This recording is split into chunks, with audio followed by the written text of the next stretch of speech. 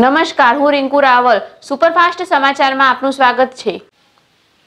બાયડના અલવા કંપા ગામની સીમમાં આવેલા નવરત્ન કોરની જમીનમાં આકાર લઈ રહેલા નરોડા એન્વાયરમેન્ટ કેમિકલ પ્લાન્ટનો ખેડૂતો દ્વારા ભારે વિરોધ. કેશોદના માણેકવાડા ગામના ખેડૂતે વર્ષોથી બગાયતી ખેતી અપનાવી સારું ઉત્પાદન મેળવી રહ્યા છે. સ્ટેચ્યુ ઓફ યુનિટી પર ઉત્તરાયણ પર્વની થીમ પર લેઝર શોનું આયોજન. સાબરકાંઠા જિલ્લાના તલોદ તાલુકામાં રામપુર કંપામાં પ્રાકૃતિક ખેતી કરી દેશી ગોળ બનાવવાનો નાનો ઉદ્યોગ શરૂ કરવામાં આવ્યો.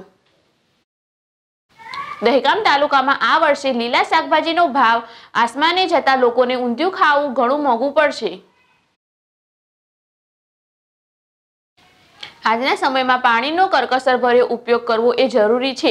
પાણીને માત્ર બચાવવાનું કાર્ય પણ પાણી બચાવીની અનેક ફાયદાનું કારણ ઉદાહરણ બની છે.